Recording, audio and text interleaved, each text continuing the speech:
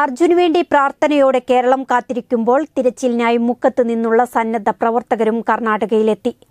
ഇരുപതംഗ സംഘമാണ് കർണാടകയിലെത്തിയത്. M L എമാരായ ലിൻഡോ ജോസഫ് സച്ചിൻ ദേവ് എന്നിവരും സംഭവസ്ഥലത്തെത്തിയിട്ടുണ്ട്.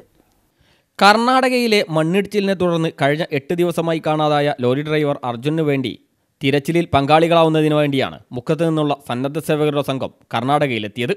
തിങ്കളാഴ്ച ഉച്ചയ്ക്ക് മൂന്ന് മണിയോടെയാണ് പതിനെട്ടംഗ സംഘം സർവസന്നാഹങ്ങളുമായി എത്തിയത്. എന്റെ മുക്കം സന്നദ്ധ സേന കർമ്മ ഓമശ്ശേരി പുൽപ്പറമ്പ് സന്നദ്ധ സേന എന്നീ സംഘങ്ങളിൽ നിന്നുള്ളവരാണ് കർണാടകയിലെത്തിയത്. കനത്ത മഴയിൽ വിശ്രമിക്കാൻ ടെന്റ് മൊബൈൽ ചാർജിംഗ് ഉൾപ്പെടെയുള്ള വൈദ്യുതി ഉപയോഗത്തിന് ജനറേറ്റർ ഭക്ഷണം പാകം ചെയ്ത് നൽകാൻ ആവശ്യമായ ധാന്യങ്ങളും പച്ചക്കറികളും സംഘം കരുതിയിട്ടുണ്ട്. എന്നാൽ രക്ഷാപ്രവർത്തനത്തിൽ നേരിട്ട് പങ്കാളികളാവാൻ സംഘത്തിന് ഇതുവരെ അനുമതി കിട്ടിയിട്ടില്ല. നദിയിൽ തെരച്ചിൽ നടത്തുന്ന സംഘത്തിനൊപ്പം ചേരാനാണ് അധികൃതർ പറയുന്നത്. എന്നാൽ ഇതിനേക്കാൾ ദുർഘടമായ രക്ഷാപ്രവർത്തനങ്ങൾ മലയോര മേഖലയിൽ നടത്തിയവരാണ് തങ്ങളുടെ സംഘത്തിലുള്ളതെന്നും സ്വതന്ത്രമായുള്ള തെരച്ചിലിന് അനുമതി നൽകണമെന്നുമാണ് അധികൃതരോട് ഇവർ ആവശ്യപ്പെടുന്നത്.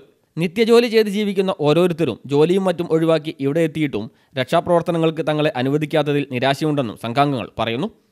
റോഡിലെ തടസ്സങ്ങൾ നീക്കാനുള്ള പ്രവർത്തനങ്ങൾ മാത്രമാണ് ആദ്യഘട്ടങ്ങളിൽ അധികൃതർ ചെയ്തത്. ഇത് രക്ഷാപ്രവർത്തനത്തിന് തിരിച്ചടിയായി മാറിയിരിക്കുകയാണെന്നും ഇവർ പറയുന്നു. നൂറുകണക്കിന് ആളുകൾ നാട്ടിൽ നിന്നും രക്ഷാപ്രവർത്തനത്തിനെത്താനായി കാത്തിരിക്കുകയാണ്. ജീവന്റെ വിലയും കുടുംബത്തിന്റെ മാനസികാവസ്ഥയും പരിഗണിച്ചാണ് തങ്ങൾ ഇവിടേക്ക് എത്തിയത്. ഇവയെല്ലാം പരിഗണിച്ച് അധികൃതരുടെ അനുകൂല നിലപാടുണ്ടാവുമെന്ന കാത്തിരിപ്പിലാണ് ഇവർ. അതേസമയം സ്ഥലത്തേക്ക് ലിൻഡോ ജോസഫ് എം എൽ എയും സച്ചിൻ ദേവ് എം എൽ എയും എത്തിയിട്ടുണ്ട്. രക്ഷാപ്രവർത്തനത്തിന് മേൽനോട്ടം വഹിക്കുകയും നാട്ടിലുള്ളവരെ സംയോജിപ്പിച്ച് കൂടുതൽ എന്തെങ്കിലും ചെയ്യാൻ കഴിയുമോ എന്നുള്ള പ്രവർത്തനവും ഇവർ നടത്തും.